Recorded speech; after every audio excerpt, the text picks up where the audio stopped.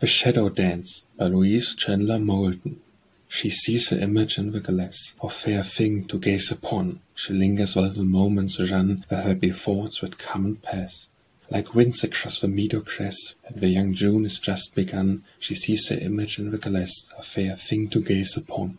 What wealth of gold the skies amass, how glad are all things neath the sun, how true the love her love has won. She recks not that this hour will pass, she sees the image in the glass.